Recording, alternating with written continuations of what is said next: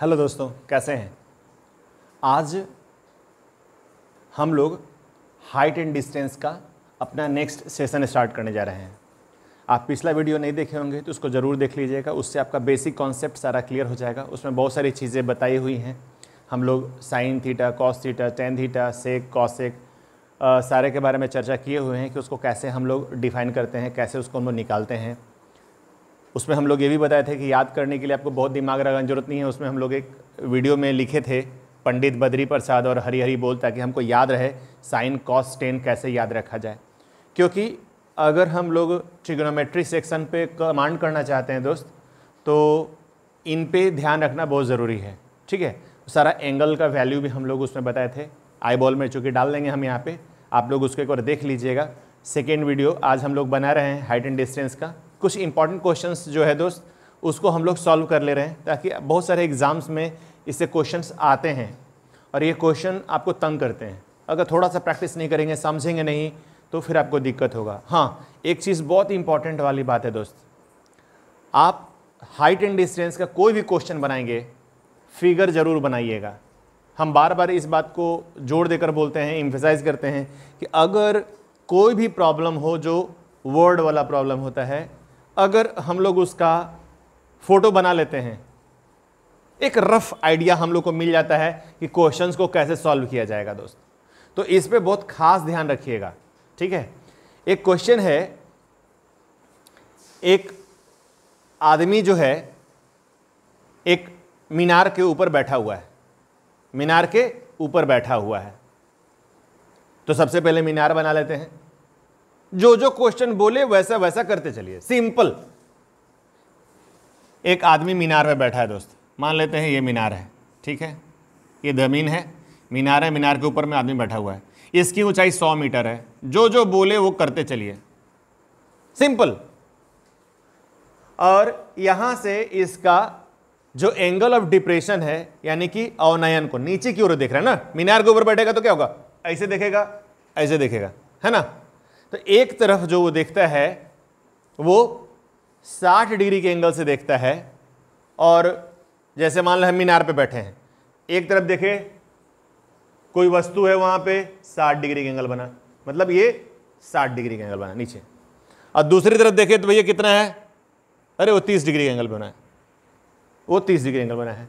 यानी कि मीनार से एक तरफ़ एक वस्तु है, यहाँ पर वो देख रहा है तो इसका एक तरफ़ देख रहा है तो यहाँ का जो अवनयन कोण है, ये वाला एक जगह 60 डिग्री बन रहा है और एक जगह 30 डिग्री बन रहा है। ठीक है? यानी कि यहाँ देखेगा 30 तो ये 30 डिग्री बन जाएगा और यहाँ से 60 डिग्री बन रहा है तो ये 60 डिग्री जाएगा हम लोग जानते हैं, एकांतर कोण अल्टरनेट इंटीरियर एंगल हम लोग पढ़े थे। एक अगले वीडियो में हम लोग सारा एंगल आपको बढ़ा देंगे। सब एंगल आपको समझ में आ जाएगा तो टोटल एंगल कितने तरह का एंगल बनता है, कैसे बनता है, उस सब आपको बता देंगे। यहाँ पर आप समझ लीजिए फ़िलहाल अभी कि यहाँ पर ये 30 डिग्री एंगल बन रहा है, और नयन कौन है, ये नीचे की तरफ़ देखने वाला कौन है तो यहाँ पर अल्टरनेट एंगल कारण तीस डिग्री यहाँ पर हो जाएगा। ये नीचे देख रहा है, साठ डिग्री एंगल बन रहा है तो यहाँ पर एकांतर कोने कारण ये भी साठ डिग्री बन जाएगा।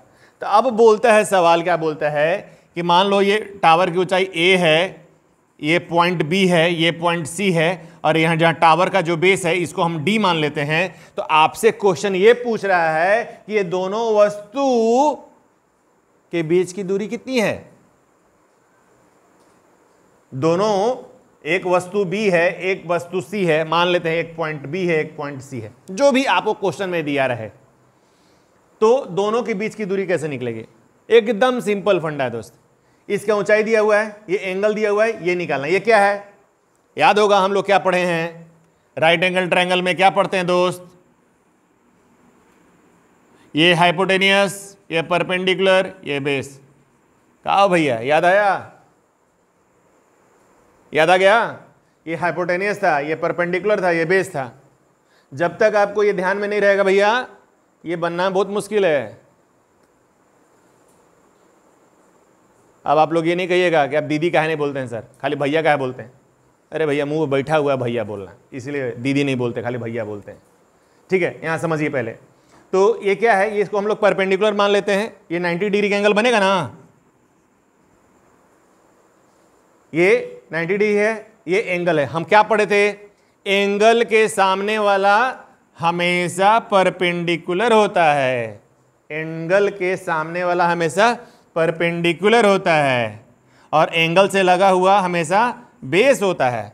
याद आया? और ये हमारा हाइपोटेनियस होता है।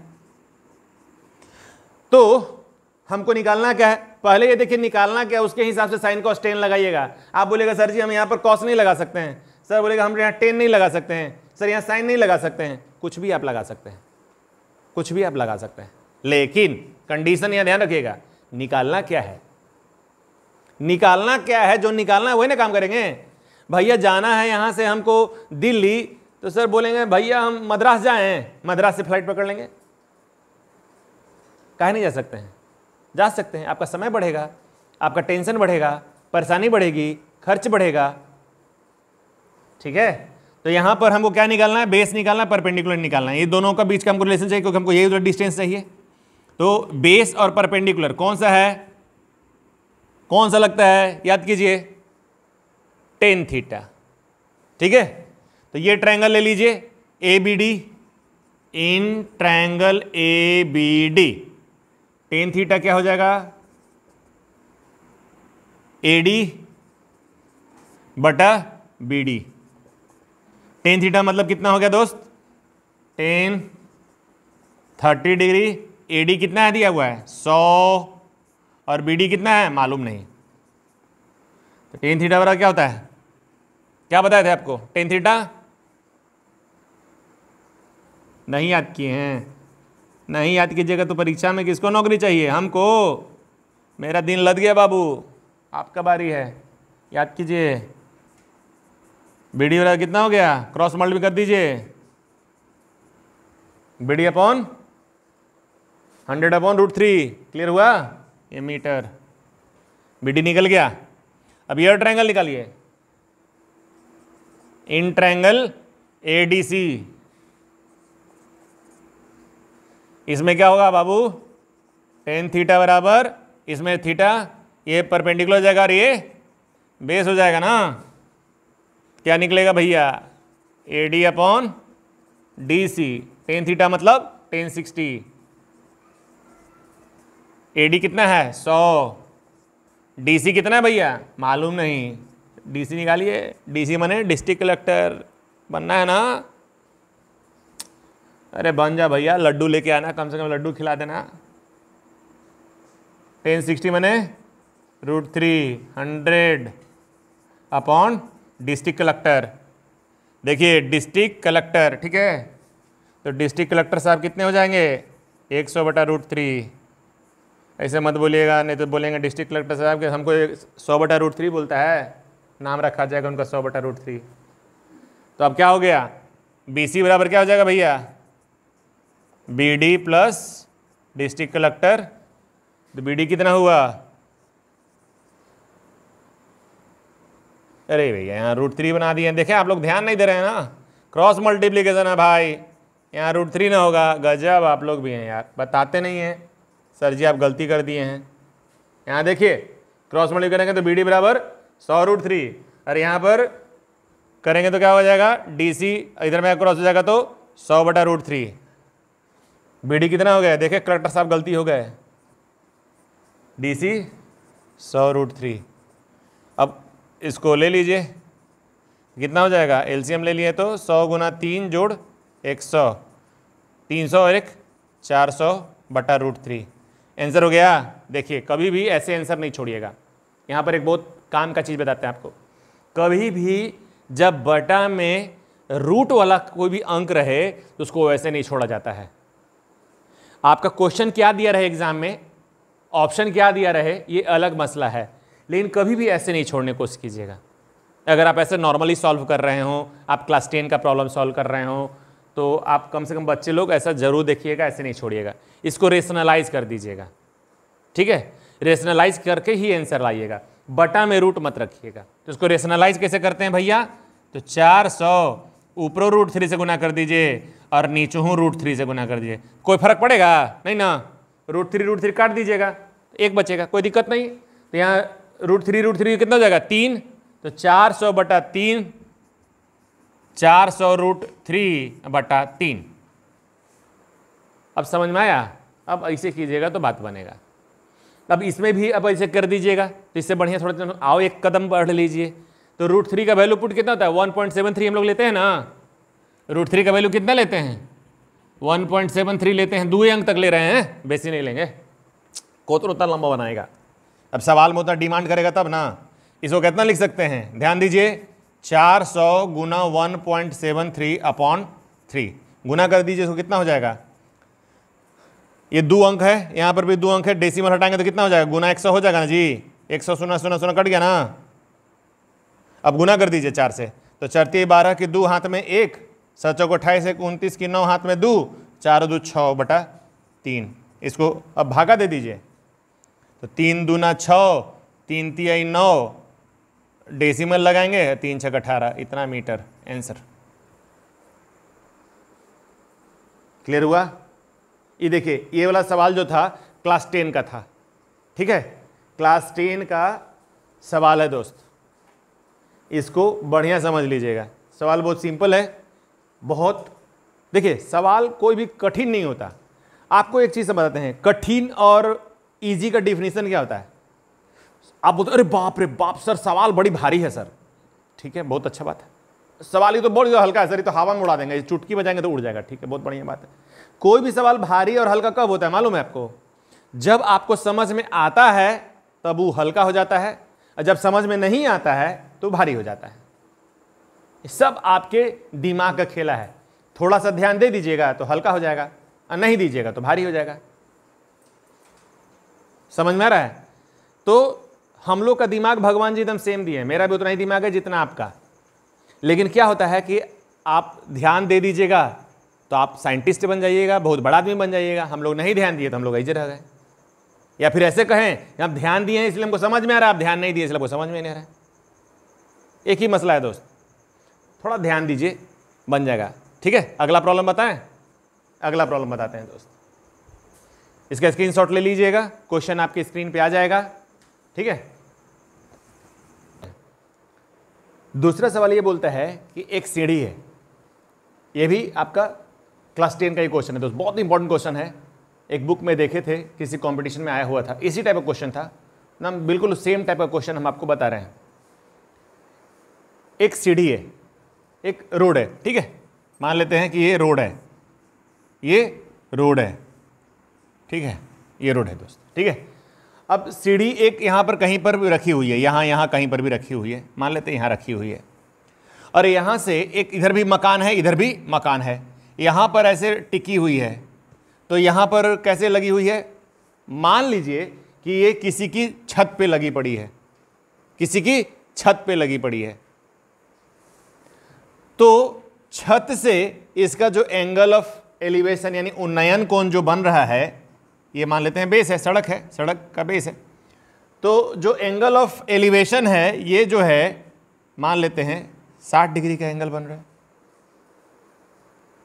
और जब इसी सीढ़ी को, अब भैया दोनों तरफ़ घर है ना तो इधर से उठा कर ऐसे ऐसे पलट दिए।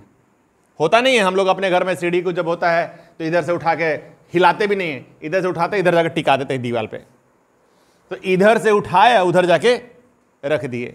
तो एक दूसरे मकान के सीढ़ी खिड़की पे जाके ये टिक गया। खिड़की है ये। ये वाला मान लेते हैं कहा है? खिड़की है। ठीक है? ये छत है। अब फ़ोटो हम बनाए ना भाई, तनी उन्नीस बीस बन गया होगा, बर्दाश्त कर लीजिएगा। अब यहाँ पर साठ डिग्री है यहाँ पर कितना बन गया है? तीस डिग्री। हिलाए नहीं है। ये पॉइंट तो वहीं पर है भैया। ठीक है? अब सीढ़ी का जो ऊंचाई है ना सीढ़ी का जो लंबाई है, इन्हें तीस मीटर दिया हुआ है। कितना दिया हुआ है? तीस मीटर। तब बोलता है, सवाल कि सड़क की चौड़ाई निकालिए। सड़क की चौड़ाई, माने ए बी निकालना है। ए पॉइंट डी मान लीजिए, इसको ई e मान लीजिए, इसको एफ़ मान लीजिए। देखिए, आपको कुछ भी बोला जा सकता है क्वेश्चन में। उसको सड़क बोला जा सकता है, घर की चौड़ाई बोला जाता है, एक तरफ़ घर में, एक तरफ़ दीवार पे लगा है, दूसरी तरफ़ खिड़की में लगा है, कहीं पर भी टिका दिए हैं। किसी भी तरह का इस तरह क्वेश्चन जब आए तो करना क्या है? निकालना क्या है? बेस निकालना है भैया ठीक है? आपको छत या फिर खिड़की कुछ ऐसे कोई फ़र्क नहीं पड़ता है। आपको निकालना क्या है? सीढ़ी का लंबाई दिया हुआ है एंगल दिया हुआ है, आपको निकालना है। याद होगा, पिछला क्वेश्चन में हम लोग अभी क्या बोले थे? भैया, कुछ भी हो, जो दिया रहे, उसको यूज़ करना है। आप बोलेंगे, साइन कॉस टेन कौन सा लगाएँ? तो आप देखिए, ज़रूरत क्या है हमको? ज़रूरत क्या है यहाँ पर? ई वाला निकालना ई वाला क्या है? इस एंगल के लिए देखिए। ई वाला क्या है? बेस है। ई वाला एंगल के लिए ई वाला एंगल के लिए देखिए क्या ये बेस है। यानी आपको बेस चाहिए। क्लियर है? ई क्या दिया भाई? क्या है? मान लेते हैं कि राइट एंगल ट्रायंगल हो गया। क्या हो गया? राइट एंगल ट्रायंगल समकोण त्रिभुज हो गया ना जी? समकोण त्रिभुज में ई क्या है? बेस पर का एंगल है। ई क्या है? कर्ण है। ई क्या है? आधार है। ई क्या है? ऊंचाई है। क्या इसके सामने का एंगल है ना तो लंब हो गया। इसके सामने का एंगल लंब हो गया। ये आधार हो गया। ये कर्ण हो गया। तो अब आपको निकालना क्या है? आधार निकालना है दोनों में। कर्ण दोनों में दिया हुआ है और ये वाला कोण दोनों में दिया हुआ है। तो अब आधार और कर्ण के बीच में कौन सा रिलेशनशिप है? बताइए। तो आधार और कर्ण के बीच में कॉस वाला रिलेशन होगा। याद है ना? पंडित, बदरी बदरी। बदरी लाल चौरसिया तो बदरी। हरी हरी। हरी बने कर्ण हाइपोटेनियस तो बेस और हाइपोटेनियस के बीच में कॉस होता है। भी ट्रायंगल में निकालिए। In triangle A D E A D E में क्या होगा? कॉस थीटा बराबर क्या होता है? Base upon hypotenuse A D upon D E cos theta मैंने क्या हो गया? कॉस साठ बराबर ए डी मैंने कहा मालूम नहीं। और डी मैंने तीस। और कॉस साठ मैंने क्या होता है? बोलिए बोलिए। वन बाई टू, याद आया? से कहते कॉस साठ क्या होता है? साइन साठ का? जो इधर चलेंगे तो इधर से लौटेंगे बिना जी। जो कॉस तीस होगा, वो कॉस साठ हो जाएगा। याद आया? कॉस तीस कितना साइन तीस कितना होता है? साइन तीस एक बटा दो होता है। तो कॉस साठ कितना हो जाएगा? एक बटा दो, एक बटा दो। आप लोग को चार्ट बढ़िया से याद करना पड़ेगा। अरे वो चार्ट नहीं भाई, छोला चाट नहीं। वो जो हम बनाए थे ऐसे ऐसे साइन कॉस टेन का ज़ीरो, तीस, पैंतालीस, साठ, नब्बे वाला चार्ट। वो वाला चार्ट याद कर लीजिएगा। अरे भाई सारणी तो A D upon thirty cross multi कर लीजिए। तो ए डी बराबर क्या हो जाएगा? तीस बटा दो, पंद्रह। पंद्रह मीटर। ठीक है? बुझाया? अब री वाला ट्रायंगल देख लीजिए। In triangle B D F B D F में क्या निकालना है? इसमें भी वही निकालेंगे कॉस निकालेंगे दोस्त। कॉस थीटा अपॉन क्या हो जाएगा? D B upon D F तो कॉस कितना हो गया? तीस बराबर डी बी डी एफ़ कितना है भैया? डी एफ़ तीस है। तीस ही है ना? हाँ ठीक है। अब कॉस तीस कितना होता है? याद कीजिए। जो कॉस तीस होगा वो साइन साठ होगा। साइन साठ बने root three by two root three by two बराबर डी बी बटा तीस। तो डी बी बराबर क्या हो जाएगा? क्रॉस मल्टी कर लीजिए ना। तो तीस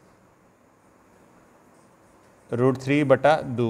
दो से कटेगा तो पंद्रह, यानी कि पंद्रह रूट थ्री। अब यहाँ निकाल लेते हैं। अब ए बी बराबर क्या होगा? ए बी बराबर क्या होगा जी? बोलिए, A D plus D B. अरे बोलिए ना फटाफट भाई, इतना टाइम नहीं है। पंद्रह प्लस पंद्रह रूट थ्री कहेगा अगला सवाल बनाना है जल्दी जल्दी। पंद्रह रूट थ्री तो कितना हो जाएगा भैया? तीस रूट थ्री लिख दें। ऐसे जोड़िएगा। बन गया सवाल। पंद्रह कॉमन लिया आएगा। वन प्लस रूट थ्री, ऐसे। बुझे? ये नहीं कि बना लिए, कैसे हूँ? तो कैसे होगा?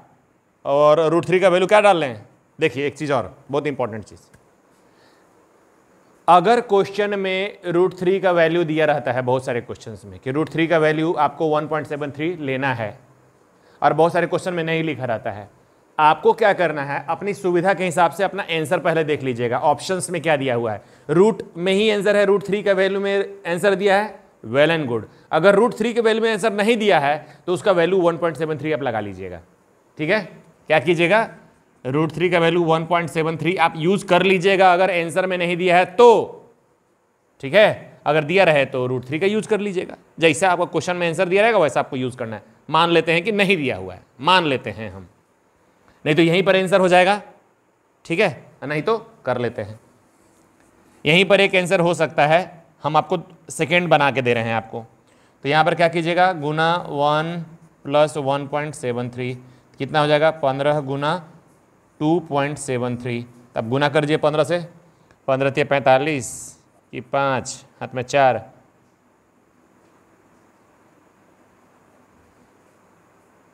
पचहत्तर से एक सौ पाँच, चार नौ, दस, पंद्रह दून तीस, दस, चालीस, दो अंक बाद डेसिमल चालीस पॉइंट नाइन फाइव मीटर।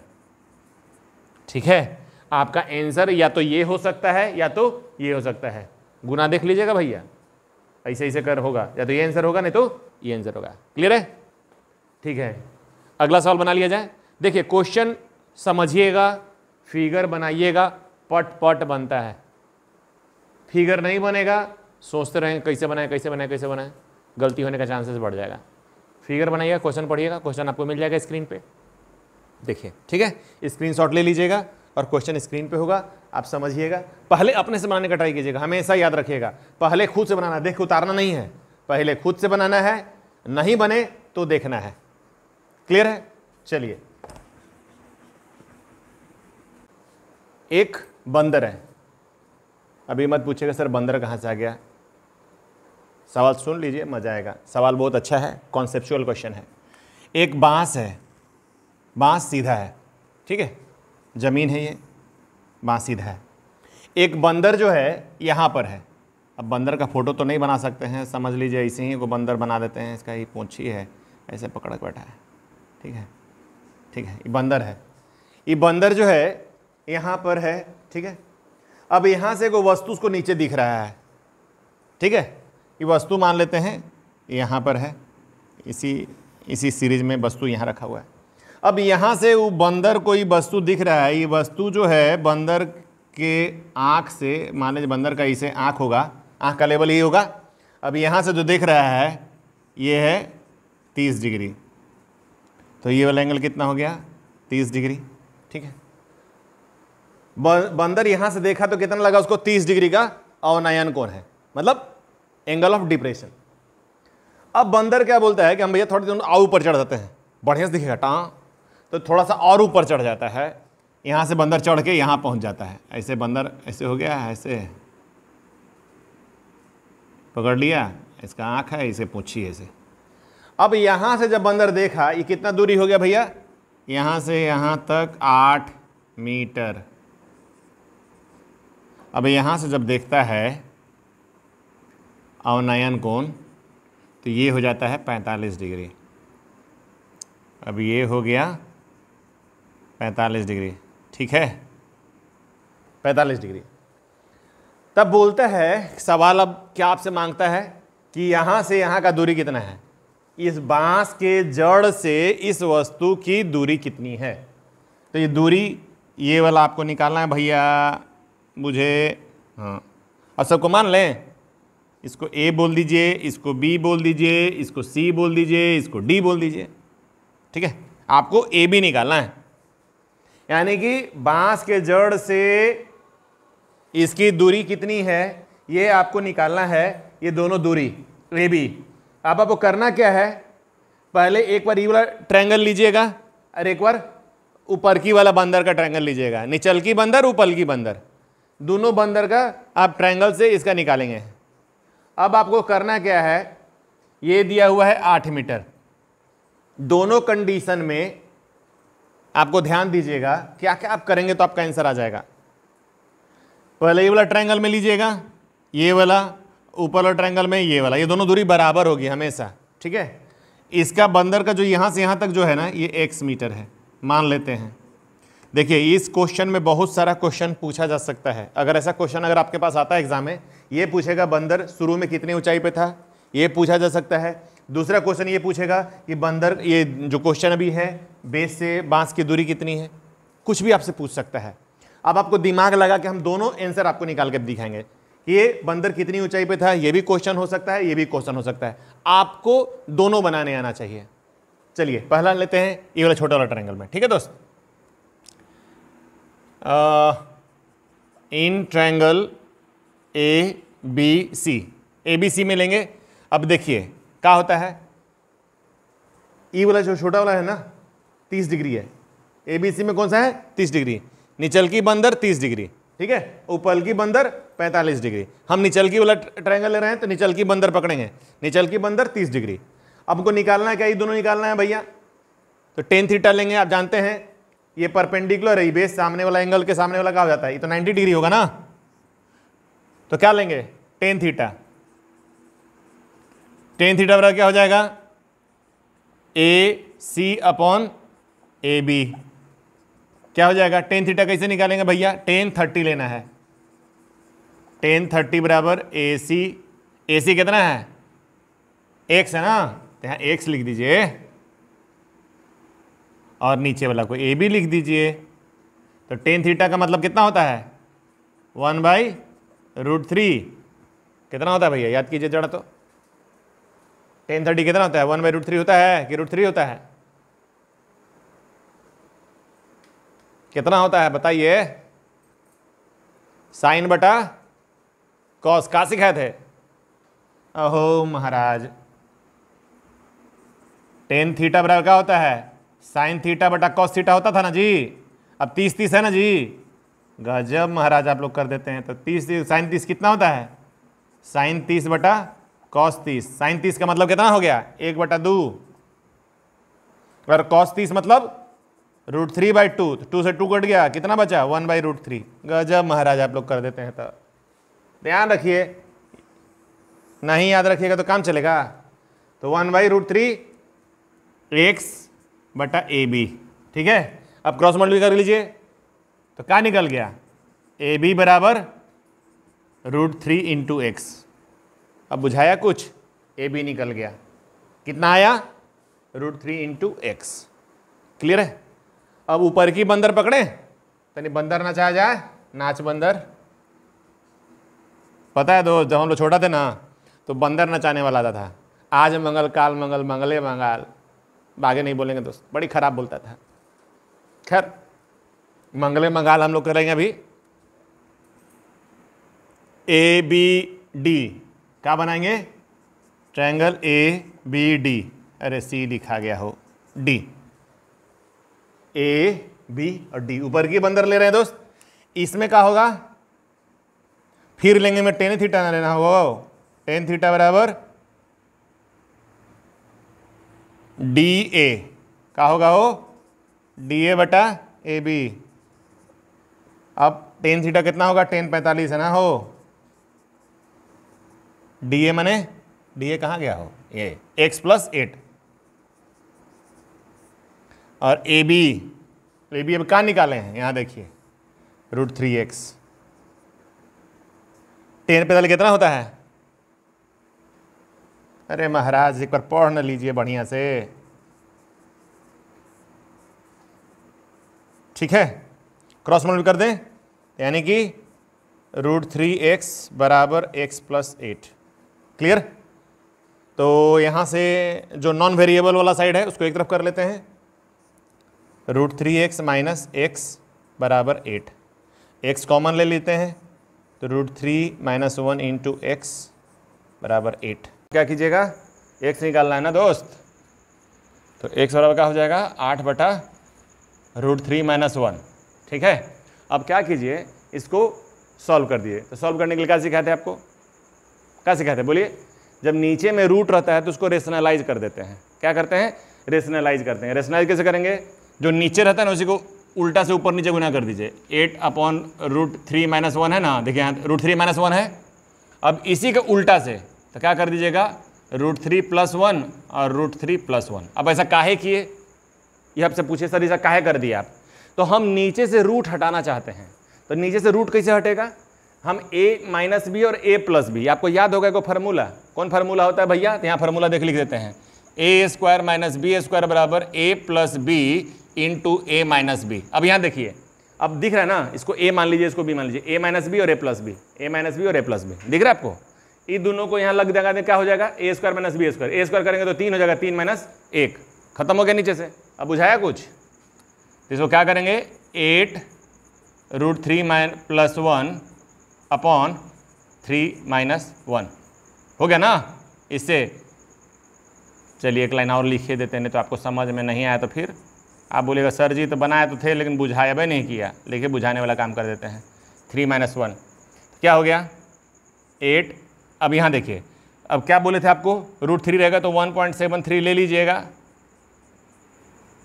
तीन महीने से गया दो दो चौके आठ तो चार गुना दो प्लस सेवन थ्री ठीक है? तब इसमें गुना कर दीजिए।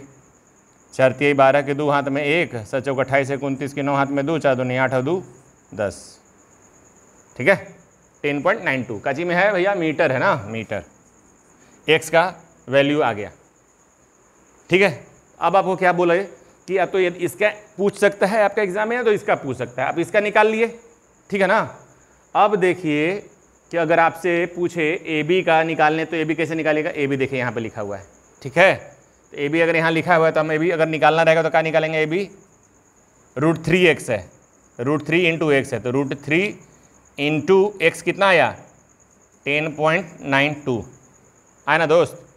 अब इसको गुना कर दीजिए। वन पॉइंट सेवन थ्री गुना टेन पॉइंट नाइन टू इतना भी आप छोड़ सकते हैं। टेन इसको आप इतना भी लिख सकते थे। Ten point nine two root three metre ये भी हो सकता था। ठीक है? हम इसको थोड़ी सुन गुना कर दे रहे हैं। चाहे तो आप गुना भी कर सकते हैं, कोई दिक्कत नहीं है। तो इसको गुना कर लीजिए। गुना करने के बाद जो आंसर आएगा लिख दीजिएगा। तो कितना हो जाएगा गुना करिएगा तो? एक, ज़ीरो, नौ, दो और वन, सेवन, थ्री। गुना कर दीजिए इसको। तीन दूना छः, नौ, तीन, सत्ताईस। तीन, एक तीन। सात दूनी चौदह के चार हाथ में एक, नौ सौ तिरसठ, एक, चौंसठ और सात, एक सात। और फिर क्या हो जाएगा? दो, नौ, ज़ीरो, एक। छः, सात, चार ग्यारह के में एक, आठ, एक, नौ नौ छः पंद्रह तीन अठारह के हाथ में एक, सात एक आठ, एक।